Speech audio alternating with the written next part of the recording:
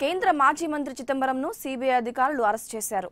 CBI అధికారులు ఆయన్ను గోడ దో- దూకి ఇంట్లోకి ప్రవేశించి అరెస్ట్ చేయాల్సి వచ్చింది.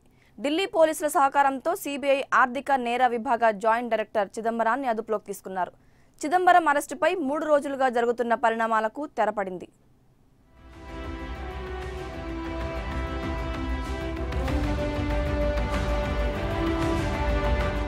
గత కొద్ది రోజులుగా చిదంబరం అరెస్టు వ్యవహారంలో కీలక పరిణామాలు చోటు చేసుకున్నాయి. ముందస్తు బెయిల్ కోసం చిదంబరం ఢిల్లీ హైకోర్టును ఆశ్రయించగా న్యాయస్థానం నిరాకరించింది. ఈ కారణంగా చిదంబరం ఇంటికి సిబిఐ అధికారులు వెళ్ళారు. అయితే అక్కడ ఆయన లేకపోవడంతో సిబిఐ బృందం వెళ్ళిపోయింది. మరోవైపు హైకోర్టు ముందస్తు బెయిల్కు నిరాకరించిన నేపథ్యంలో చిదంబరం సుప్రీంకోర్టును ఆశ్రయించారు. అక్కడ ఆయనకు నిరాశ తప్పలేదు.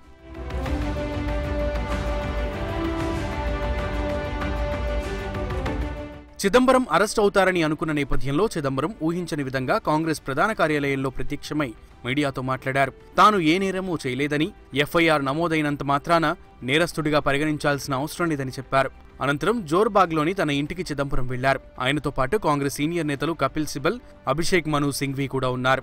In the INX media case I have not been accused of any offense, nor is anyone else including any member of my family, been accused of any offense.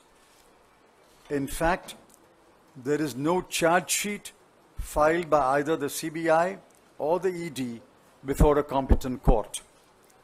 Moreover, the FIR recorded by the CBI does not impute to me any wrongdoing. Yet there is a widespread impression that grave offences have been committed, and my son and I have committed those offences. Nothing can be further from the truth. These are lies spread by pathological liars. When I was summoned by the CBI and then the ED to appear for questioning, I naturally sought interim protection against arrest from the competent court. Chidambaram ఇంటికి వచ్చిన తర్వాత అక్కడ high drama చోటు చేసుకుంది. CBI ED అధికారులు అక్కడికి చేరుకోగా చిదంబరం వ్యక్తిగత సిబ్బంది అడ్డుకున్నారు. దీంతో సిబిఐ అధికారులు గోడదూకి లోపలికి ప్రవేశించారు. ఢిల్లీ పోలీసుల సహకారంతో సిబిఐ ఆర్థిక నేర విభాగ జాయింట్ డైరెక్టర్ చిదంబరాన్ని అదుపులోకి తీసుకున్నారు. కారులో సిబిఐ ప్రధాన కార్యాలయానికి ఆయన్ను తరలించారు.